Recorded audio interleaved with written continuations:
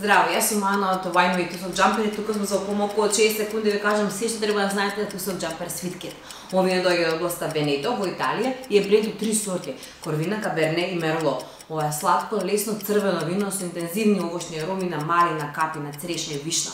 Наша препорака е да го сервирате добро изладено во чаша за црвено вино и да го комбинирате со десерти како сладолед, палчинки, чоколадна торта. Ова вино и другите вина Тусов Джампер можете да ги најдете ги нарачите кај нашиот пријател и дистрибутер Влато Процен Битола, како во специализираните вински продавници како Wine MK, Fine Wine, Wine Counter во Скопје, исто така во по-кул рестораните со добри вински листи, како што се Форца, Енобар, БКВ во Скопје и Харбор во Охрид. u vaše zdravlje. Živjeli!